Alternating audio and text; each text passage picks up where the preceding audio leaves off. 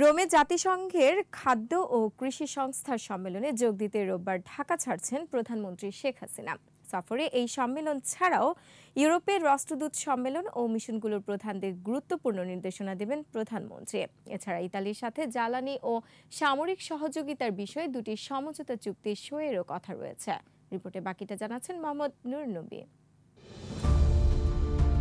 United Nations food system plus two stop taking moments শিরোনামে এফএওর সম্মেলনে যোগ দিতে ইতালি যাচ্ছেন প্রধানমন্ত্রী শেখ হাসিনা।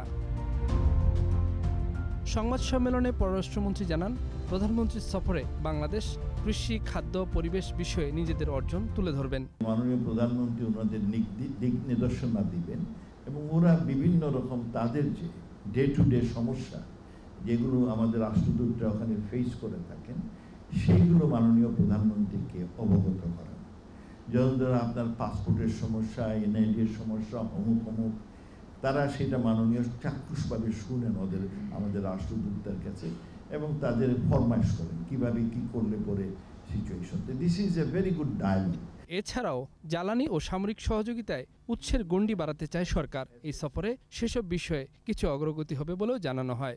সম্ভাবনা রয়েছে এবং আমরা জানি এবং চাই যে বাংলাদেশের যে প্রকিউরমেন্টের যে সোর্সগুলো রয়েছে সেগুলো আরও কীভাবে ডাইভার্সিফাই করা যায়।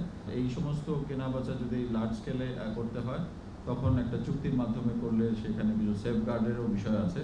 সেগুলো নিয়ে আমরা বর্তমানে আলাপ আলোচনা করছি। সফর শেষে ছাব্বিশে জুলাই ঢাকার উদ্দেশ্যে রোম ত্যাগ করবেন প্রধানমন্ত্রী শেখ হাসিনা।